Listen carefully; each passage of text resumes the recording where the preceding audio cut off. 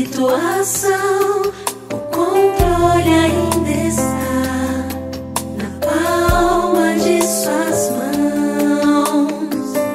Eu tenho um Deus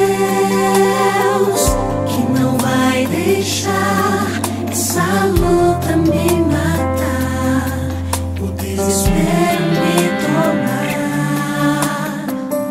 Por mais pressão que seja situação, o